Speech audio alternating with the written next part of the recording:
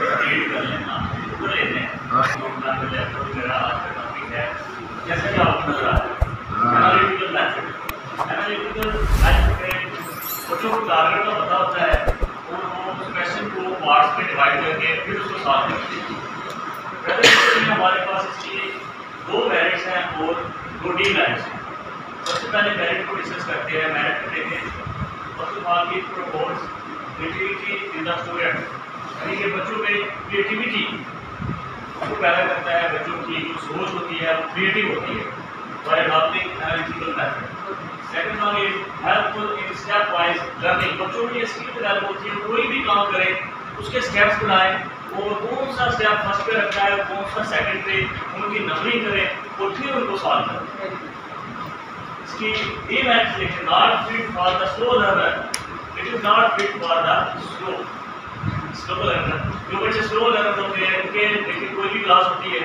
तमाम बच्चों का जो आई लेवल होता है तमाम बच्चों का जो माइंड सेट होता है वो इक्वल नहीं होता uh, uh, uh, it is long procedure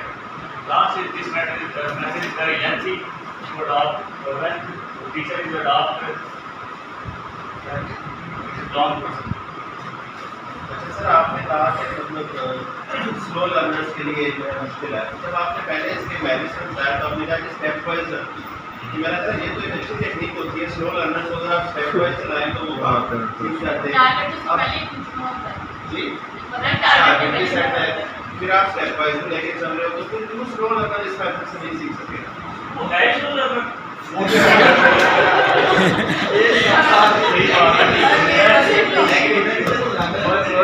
इस दो नंबर के लिए बल्कि ये मेथड परफेक्ट रहता है कि उनको पहले पता होता है कि लेफ़्ट हैंड साइड ये है राइट हैंड साइड बहुत अच्छा है ये